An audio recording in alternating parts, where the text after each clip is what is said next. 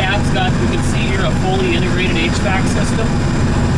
And it's unique as opposed to a rooftop unit that's sitting proud up on the roof, likely to get damaged if you're off trailing through brush and debris.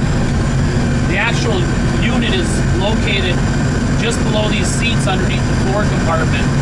So all that weight for the whole HVAC, HVAC system is stored underneath the floor, keeping the center of gravity of this vehicle at an extreme low. Um, it performs very well. There's a lot of ducting that runs up through the compartments, all insulated, uh, a well-insulated cab, uh, giving you tons of airflow to keep the nice panoramic viewing wide open.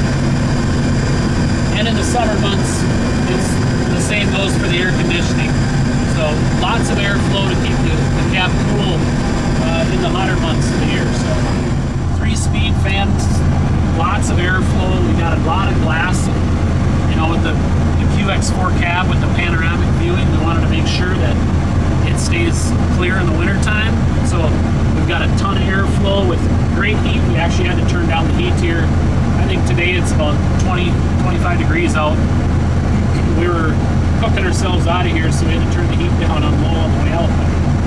It's got great heat, lots of output, um, both for, for heat and air conditioning. So in the event that you're in a real humid, even in the cold climate, by running the air compressor for the AC system, it'll pull that extra moisture out of the air and uh, you can run fresh air or recirculated air.